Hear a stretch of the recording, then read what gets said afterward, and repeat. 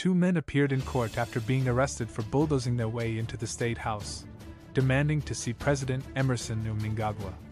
The incident has heightened coup fears and raised questions about security at the presidential residence. Felix Tagarasiai Maguriai, 40, one of the men arrested last month, claimed he was Mnangagwa's father.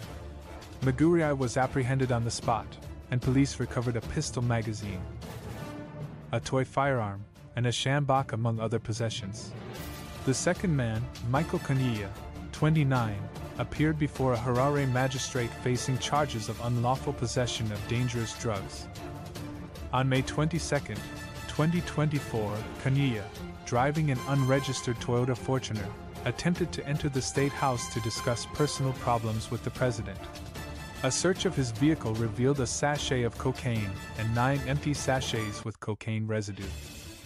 Kanyia, who has been seen in various photos with the Mnangagwa and the Mugabe brothers, was denied bail and is scheduled to return to court on June 12. Maguriai's arrest followed an incident on May 7, when he allegedly forced his way into the State House. Arriving in a Toyota Hilux Raider, Maguriai parked at the visitor's entrance and began dancing in front of a police officer stationed there. Claiming he was the president's father, he demanded to see Mnangagwa before forcing his way into the yard.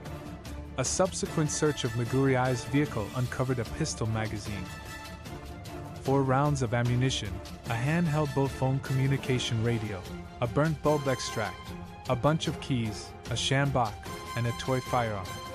The incidents have sparked concern over the security protocols at the State House and the potential threats to President Mnangagwa's safety.